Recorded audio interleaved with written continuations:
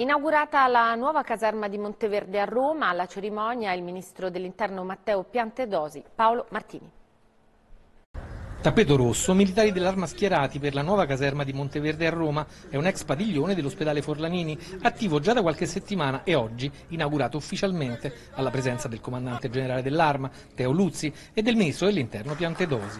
C'è la presidente del Consiglio Comunale di Roma, ci sono alcuni ragazzi delle scuole vicine con cappellini e bandierina d'Italia.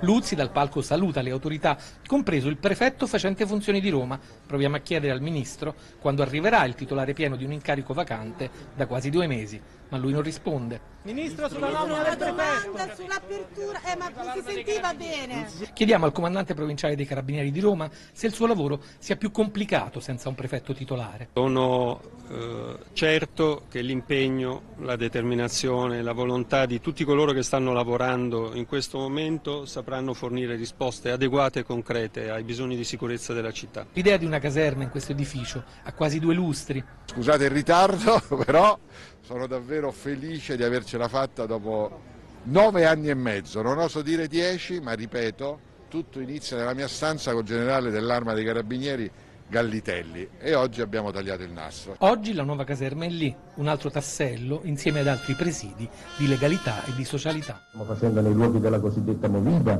eh, stiamo ripristinando i presidi presso i poli ospedalieri, cioè stiamo cercando di farci carico, proprio come dicevo, di quei problemi più emergenti che non sono solo di sicurezza tradizionalmente intesa, ma incrociano proprio i problemi emergenti della società così come si stanno manifestando.